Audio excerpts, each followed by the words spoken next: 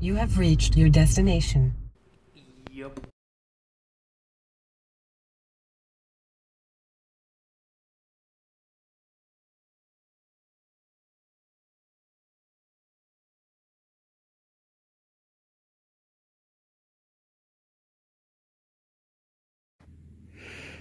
Hmm. Hmm. I rented this, and it was easy to set up, and it's going to be easy to pull apart. As you can see, it's already pissed on my floor, so I guess it belongs here now. Maybe it's mine now.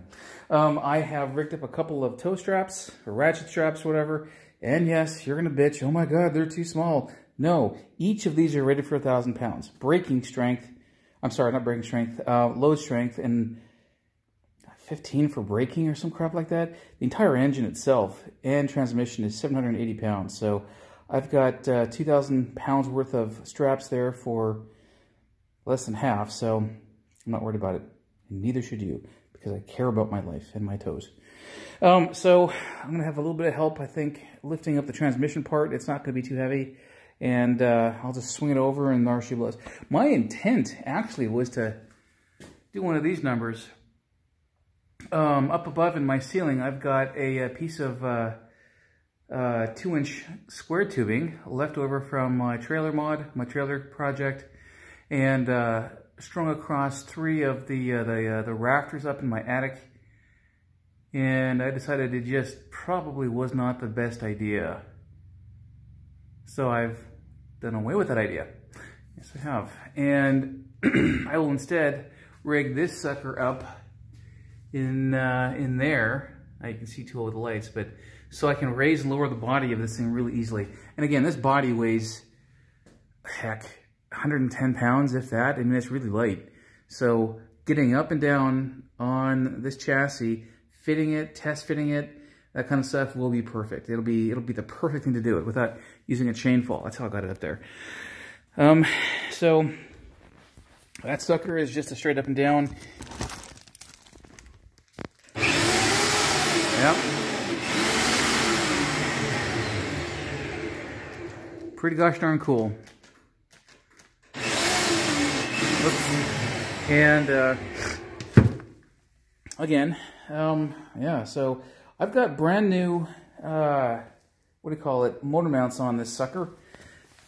Um, like a so, and what you can't see too well, see that strap hanging down?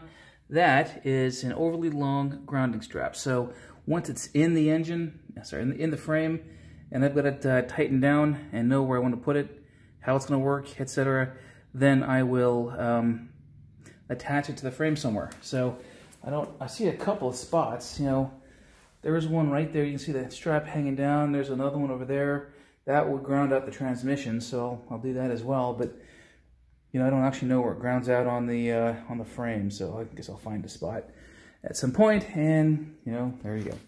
So more after I'm done. I gotta admit, this was a bitch. This was a fucking bitch. My uh, my motor mounts were snug, like perfectly, perfectly the uh, the correct size with no slop in them. And by slop, I'm talking a millimeter maybe on each end, each side. But it's in. see, let me zoom in just a snitch. Both sides.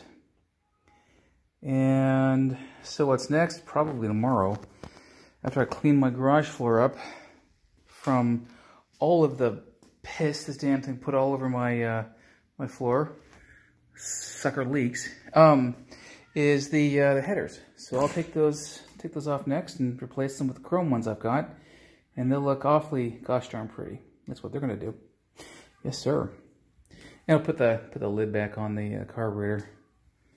So I've yet to do the uh, uh, the transmission mount. I'll do that later at some point. I just wanted to get the engine out from in front of my MG and um, out of the way. Yeah, not bad. It's a load of uh, load off my mind. Yep, yep, yep.